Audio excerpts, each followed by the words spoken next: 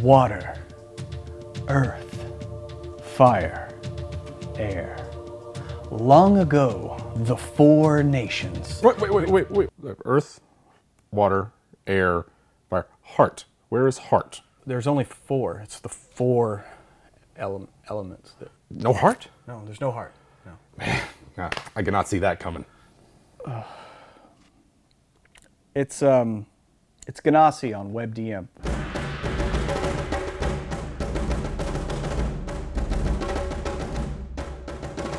Okay, Jim, let's talk about Genasi in all of their forms. This is a big one. Certainly, yeah. Mo- most For most real. races don't have four subclasses. Most of them don't. I mean, and and and those that do, you know, the the permutations are a little, you know, you, you don't have to. A little closer. Yeah, a little closer. Actually, which who all has the most? Elves, probably. I'm sure. of Yeah, I'm gonna say course it's elves have the most because they have to be the whatever They've got to be everything. special.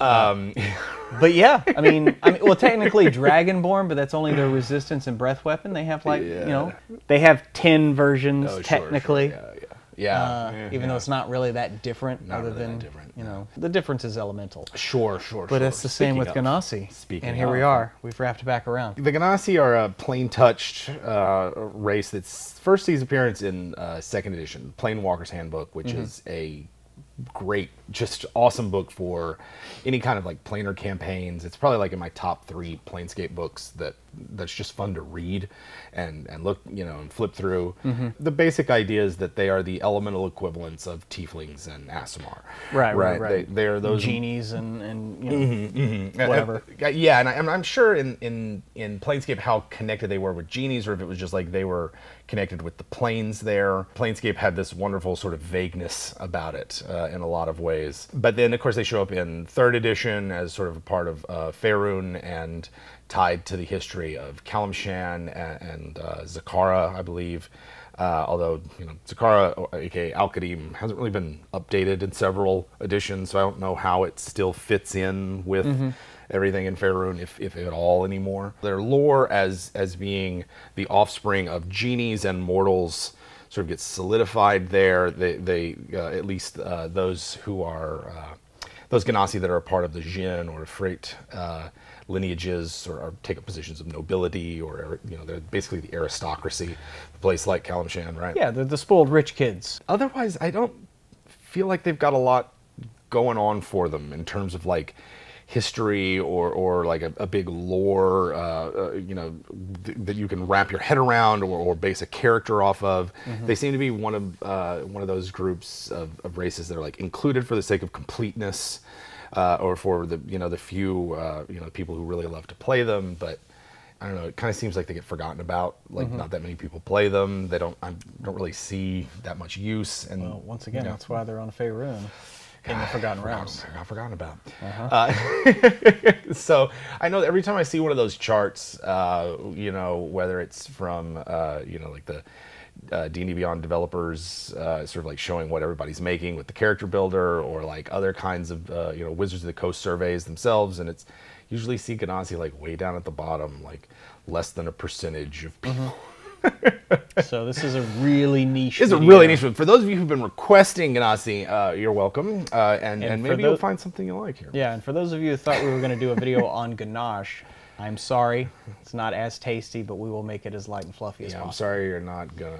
Your ganache gonna see what you want. Yeah, yeah, yeah. That's uh, that's the truffle with uh, words like this. Anyway, you know, we kind of kind of touched on the the, the, the history. Uh, you know, they're, Yeah. they're not really that that that used. Although I, I, I have seen them used around. I know Lindy played a Eric Uh-huh, Genasi uh-huh. for a while. Yeah. it- very light and airy character. Yeah. Really fit. Uh, Yeah, I'm trying to think of others. I, I don't. Pl- I've played a, a Fire Genasi uh, um, evoker uh, who was, you know, all fire magic all the time. Yeah. Um, I think it's probably just like, oh yeah, I've got a fire genie dad or something, you know. Yeah. And to me, it's less about like the lineage of the Genasi. it's, it's, it's some, you know, whatever. Well, just- salamander, or fire snake, or Yeah, I'm just imagining a Fire Genasi teenager yelling at his genie father. Yeah. like, you know what I wish, Dad? I wish you weren't my dad. You know, he had one wish left. I really like them, and and I think though in fifth edition they're underserved. I I, I find myself sort of underwhelmed uh, by them mechanically, and and uh, and also sort of like there was a lot of cool stuff going on with Genasi in fourth edition that didn't get ported over, Mm-hmm. right? And so like it, it's one of the many things where there's like this because of the break with lore and the, want, the, the you know wanting to do new things with the lore and everything. There's a lot of really cool stuff in fourth edition that way that just gets kind of it's not part of the continuity of D&D lore. It represents a break from it, and so you don't necessarily see much of it anymore. So Mm-hmm. maybe we'll talk a bit more about what that might mean for your game uh, later. But Because yeah, I mean, like you said, uh, they do seem a little underwhelming. Because I mean, like overall, they basically all of them get a plus two to con. which is nice, but I'm not. I, I'm never like, man, I, I I'm gonna choose a class that has a primary bonus in Constitution. Yeah, you know, that's about. Yeah, I mean that that helps your all your spellcasters for for con saves for Sure, yeah. maintaining concentration, and it's an extra hit point. Sure, but it's like, but it's Constitution. Like, eh, Yeah.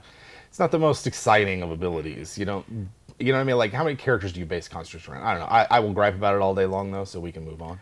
Uh, yeah, no, no, I, I understand, but that's like it though. As far as overall, like all of them get this, and then each subclass get a little something extra. Yeah. So starting with air, Yeah. you get another a plus one dex. Um, you can hold your breath indefinitely. Sure. As long as you're not incapacitated. Uh-huh. Uh, and then you get the w- mingle with wind, which allows you to cast levitate once per, basically once a day. Yeah. Uh, and con is your casting stat.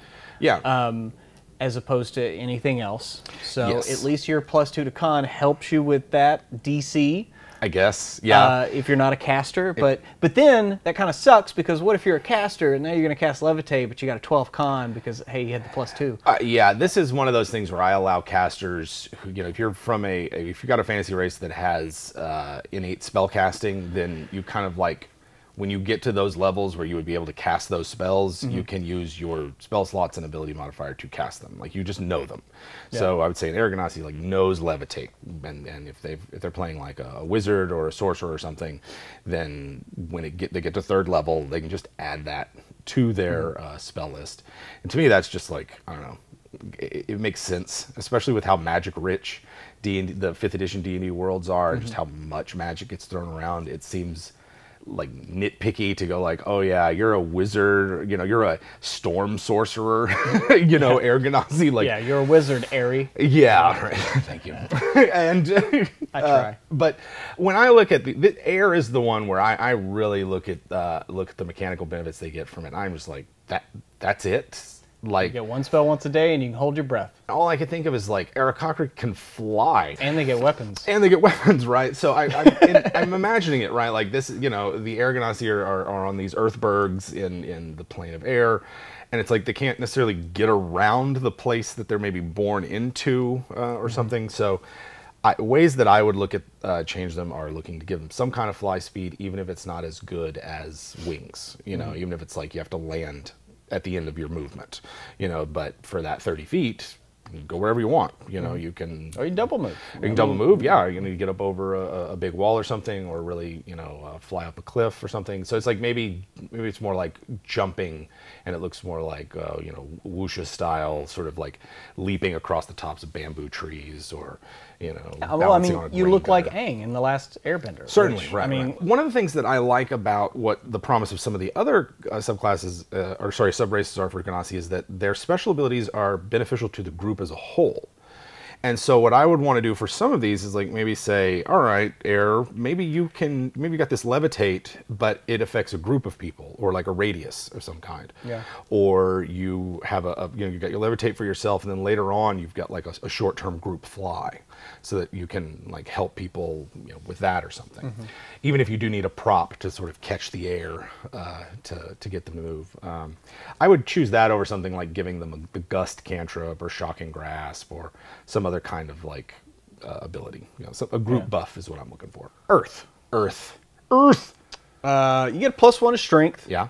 That's you know that's fun. Not it makes bad, sense. sure. Uh, you get your earth walk, which means Uh-huh. you know if there's difficult terrain, it doesn't cost you extra movement as long as it's made of earth or stone, Yep. which totally see. It's kind of an earth glide ability. Sure, sure. Um, and then the last thing is pass without a trace, yeah. which I mean I guess I get. You know, you you can walk around really quietly on Earth and you don't leave footprints because you know magic. I guess, but um, they don't limit it to natural earth or, or natural stone, right? Or unless did I miss that? I don't. I don't see that part. That, but yeah. that's that's the part where I'm like, so it just works anywhere. So it works anywhere. Yeah, even where you're not. Um, yeah. I, I, so it it, it it this is one of those where I find that fifth edition D and D has this weird like they hold back somewhere whenever there's like a, you know a, the, the fluff versus the crunch. Yeah. you know and i feel like a lot of times there's this there's this evocative sort of like powerful narrative that they're building up through the descriptive text and everything. And then when we get to the mechanics it's usually just like a spell they can do once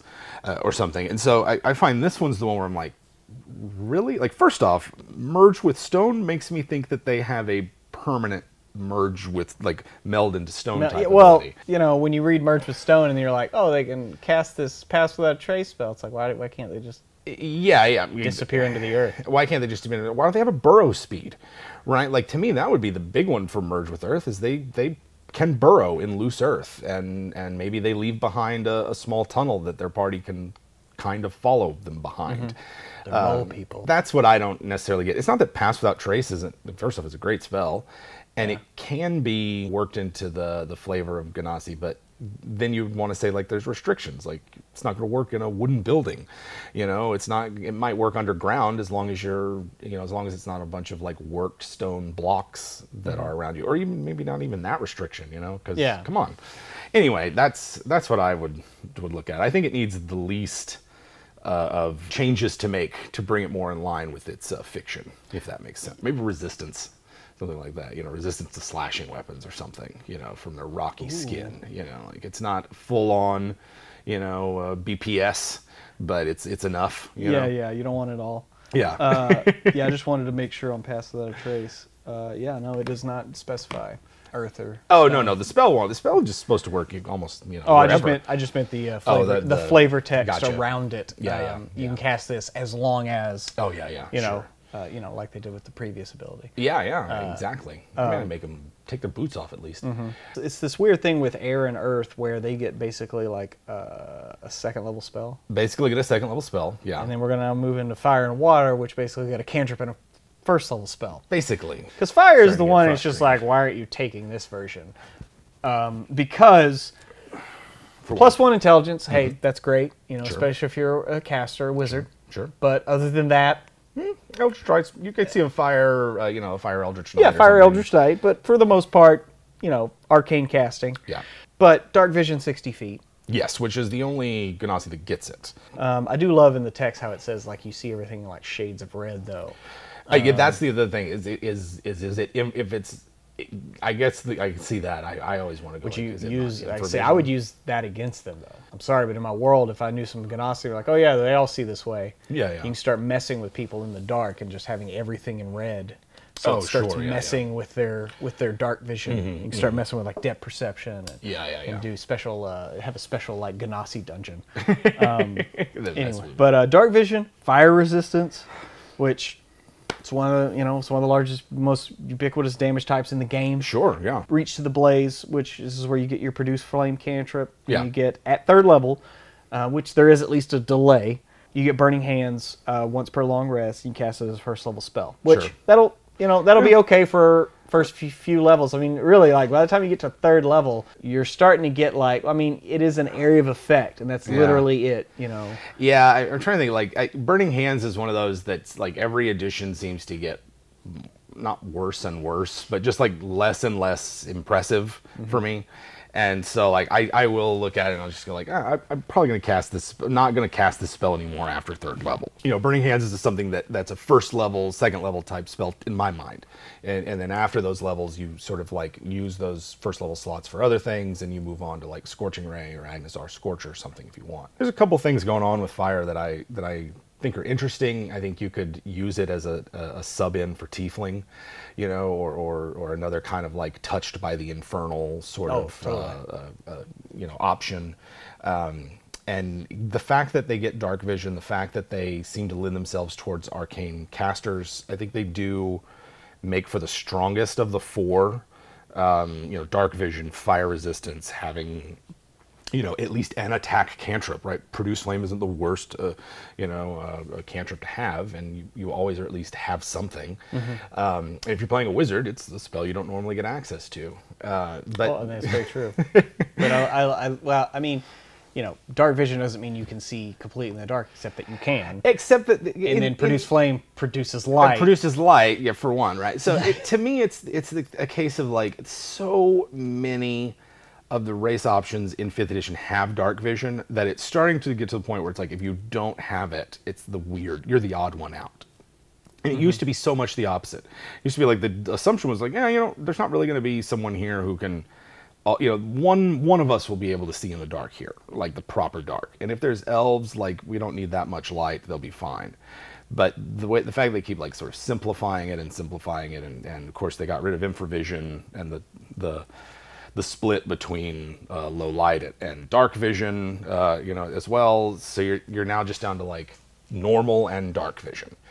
And with the fact that so many uh, race options have dark vision, it, like I said, it really sticks out when you don't. And so I like, I kind of wish it was either my my personal preference would be that no one had dark vision, like that. Just no player characters have it. It might make sense for them to. Maybe they can see better in like you know starlight or something like that. Maybe for a fire genasi, the flames treat the area of brightness of fire is doubled right? So if it's like a torch, if they've got a torch, then their area of bright light for them is doubled. Yeah. And they just see better in firelight. That's how. That's maybe how I would do it. Well, I mean, I could also, you know, if you were going to bring back infravision, I would think that Fire Genasi. Fire would have it, Yeah. You can see your heat. Yeah, I mean, yeah, that's yeah. the thing is it's all about heat with them. Yeah.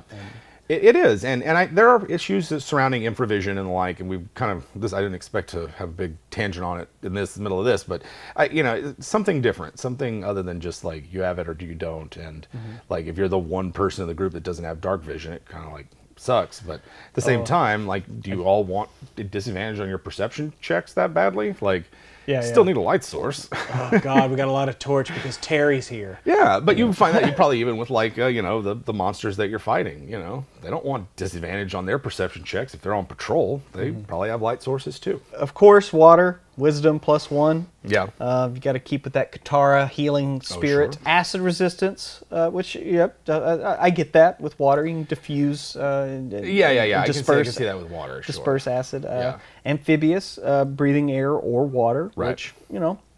Uh, well, you don't get a you don't get really get a swim speed, which I don't know. I mean, Yeah. To me, if, you, if if you're a water genasi, shouldn't you have some version? Uh, yeah, I, I kind of thought I, like, this is one of those things where I've glossed over it so much. I just assumed they had a swim speed. And I was like looking at their stats this morning, and I wrote down, oh, they got swim speed, and it's like, yeah, they don't. If th- they don't, like that's mm-hmm. a- that's actually surprising. I was gonna say like they should have a faster swim speed than their land speed. You know, like they are creatures of water. They should have faster swim speeds than like merfolk mm-hmm. and and tritons and and the like. You know, they mm-hmm. are in literally immersed in their element. Uh, Yeah, yeah. And so I I would I'd give them a swim speed of 40 uh, as base, you know, like and plus ten move. Mhm, just a plus 10 and and you know anything else obviously on top of that is is gravy. Um, Call to the wave is what shape water and then uh, create uh, create wa- just create water I guess. Uh, create, destroy water. Create, destroy Uh, water. yeah, same thing. Get it at third level. Cast it as a second level spell, sure, sure. uh, which I find that interesting. Yeah, yeah. Um, it probably just generates more. If I had my druthers, they would all have one cantrip and one second level spell. Mm-hmm. and and the second level spell ideally has some kind of group benefit, or there is like a passive uh, group benefit for everybody. So for water, I would go like. Hey, you can do this, and then also like once a day, you can bless a certain number of people to like be able to breathe in the water, or you can like extend a, a radius of airy water out to from 10 feet from you for an hour or something, or 15 Yeah. minutes or whatever, or, you know, or of water breath. or of water breath, you know, or of water breath for just a little bit, just because it's like I, like I like the idea of of Genasi extending these benefits because they represent creatures from these inhospitable planes, these places where it's hard to go.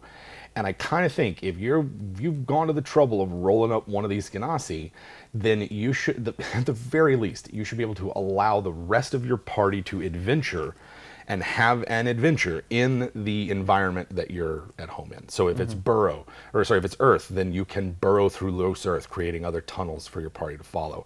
If it's air, it's like a maybe a, a, a feather fall for everyone. Uh, you know, if you're just near them, or like uh, an extension of a, a brief, uh, you know, short-term flight, something like that. Fire might be a, a radius of fire protection that just like you know, it, it cancels out the effects of extreme heat and provides fire resistance. And you know, maybe water is like that breathable air, or, or sorry, breathable water, uh, or or a swim speed for everybody, so that they don't have to suffer uh, the the penalties to using weapons underwater, something like that. So like that's how I would think of adding abilities to the Genasi, just because like they do need more. I, I don't think that these are enough, and you know they're made fairly early on in D&D 5th edition's life cycle. It seems like they're just ported over the third edition stats for them instead of like adding on and looking at all the like I was just looking at it on uh, this morning for research for the, the show and I was like God, fourth edition had so much stuff for Genasi and I, I'm not familiar with it I, I haven't read any of the books for it it was more just like looking at an index and I was like surely there's stuff in here that will make it, that would just like add something to it. I'm kind of curious about the conceptual stuff now because mm-hmm. mechanically I, I would add things to them, but I feel like without a solid concept for what they are Yeah. and what a Genasi is and, and how they fit into your game worlds, we're just like adding on cool stuff without any reference, right? Right, right, right. Well, I think one one place to look conceptually is a game that we talk about all the time, even Yeah. for its faults. Sure, sure. Which is Exalted. Yes. And the Dragonborn. Yeah. Now, don't be confused. They're called Dragonborn there, but they're elemental. Sure, sure. The, the terrestrial exalted, um, and and and uh, sometimes called dragonborn, sometimes called dragon blooded. Dragon-blooded, yeah. Sometimes they've, they've got a lot of different names and setting, and and they have, of course, the, the their uh, five elements there. They they have the classical four plus wood, which I guess is uh, I'm not mistaken is like sort of like in Chinese alchemy. That's their those are their elements, but I can't remember if there's metal in uh, for the terrestrial exalted. I don't think so. I don't think there was. I think. I might be thinking of another form of ele- elemental magic system. the, uh, The Codex six Alera elements. from uh, Jim and then there were seven. Right. I'm going to add spirit. 52 elements. The terrestrial exalted are, um, you know, they are the lowest form of exalted in creation. Uh, they're meant to be the sort of foot soldiers and, and assistants and servants of the solar exalted. And through machinations and cosmic uh, betrayals, uh, they end up as the rulers of the biggest empire in creation, with the uh, sidereal exalted being kind of like the behind the scenes, uh, behind the throne advisors. And so a lot of terrestrial exalted abilities are based around teamwork. They're based around the fact that like they are weaker than the more powerful solar and lunar exalted that they hunt, so they have to coordinate and cooperate and act as a team against these like demigods that they're trying to take down. And so for me, that's maybe where I get like the group buff stuff from. You know, there's a lot of in Exalted, they have a lot of abilities that extend to, you know, their followers and team members and things like that. So I like it because it's sort of like it, I like taking that idea of of like uh, an elite, an aristocracy that is suffused with magical power that that represents their connection to the land. Uh, there's shades of birthright in that idea. There's shades of the dragon marked houses in Eberron.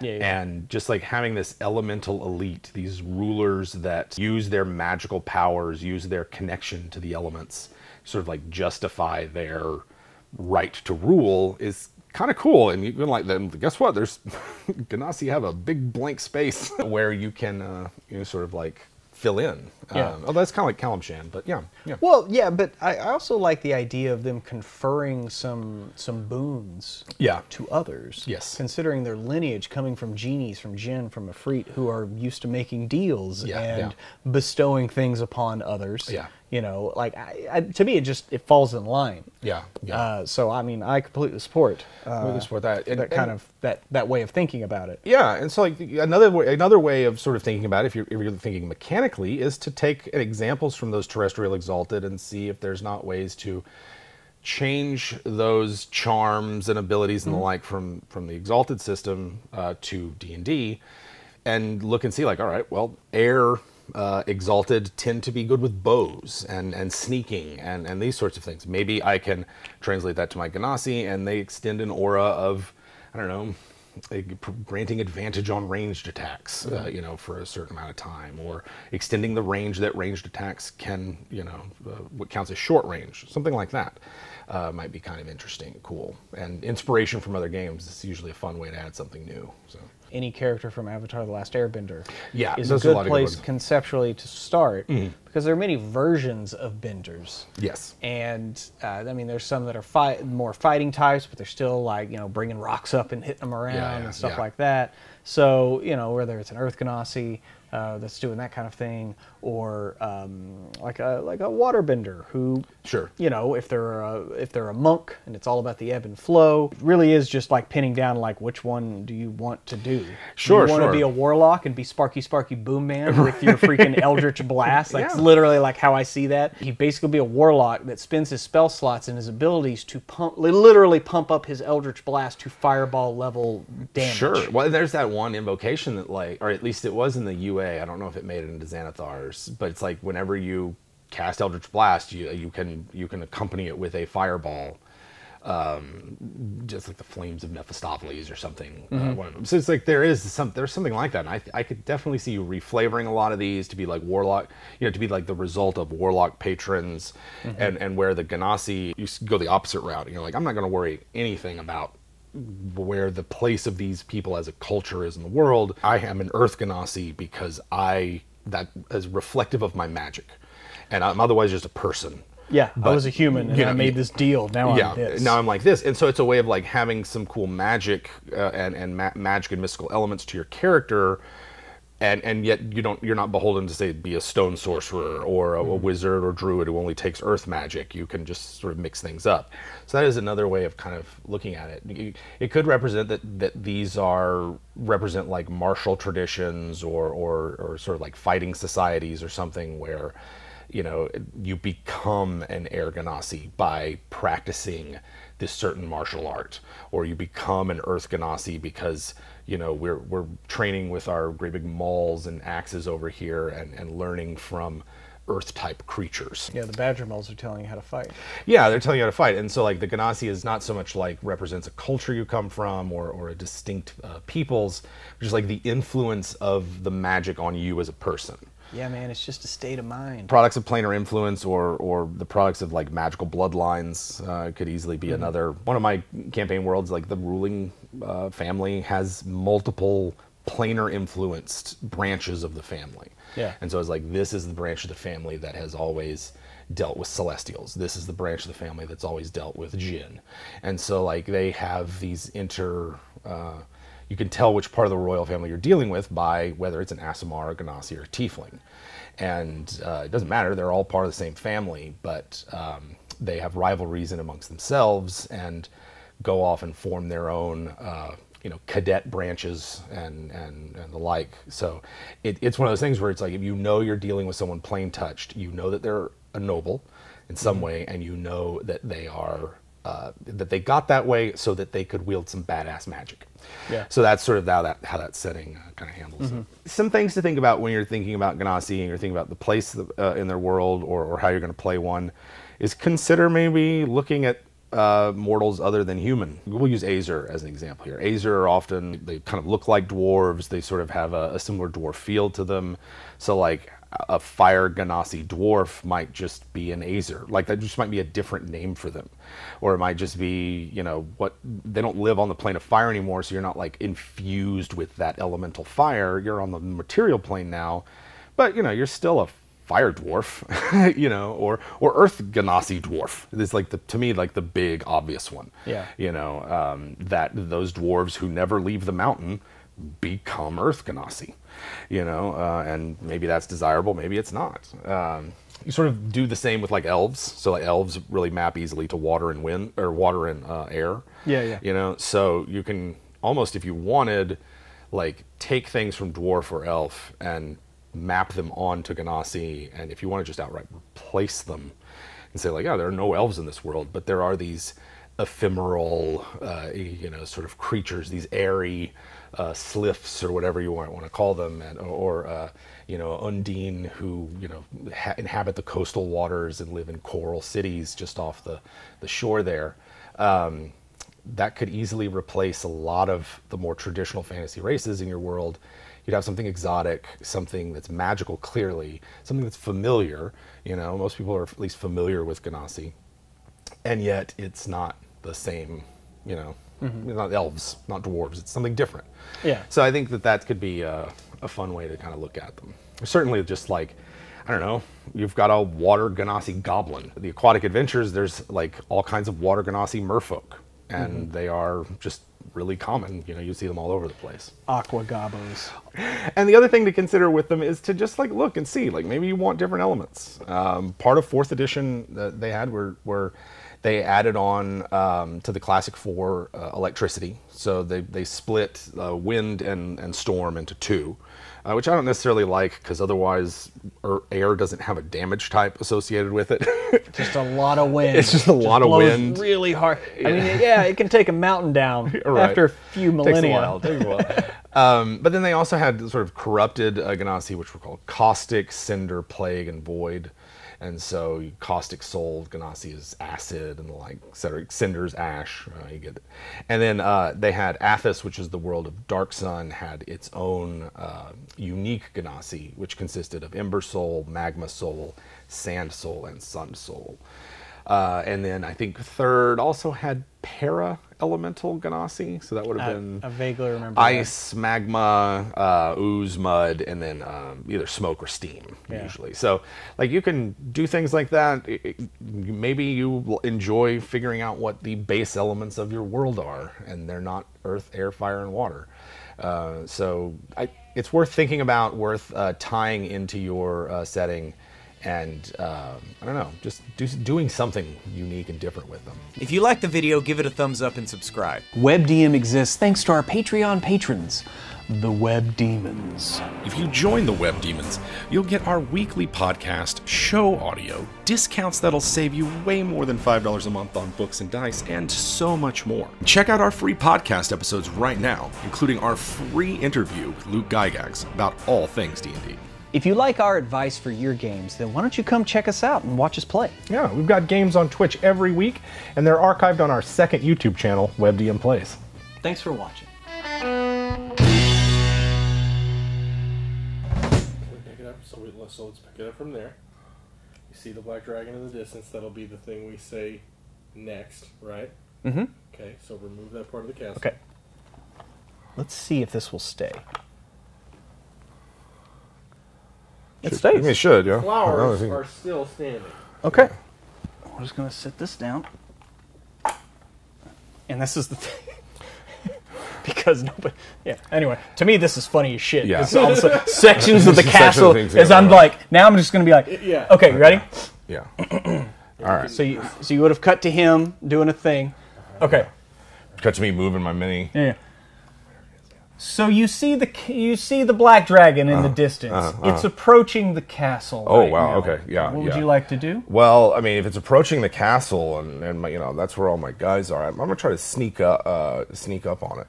Okay, Yeah. let me let me see that stealth check. All right, okay. Oh, you know, rolled off the book. You know, you know, I always roll on my No, book. no, you know, I, yeah, it's yeah. fine. I understand that. Ah, mm, look at that. That's an 18. Let's try, let's try it again.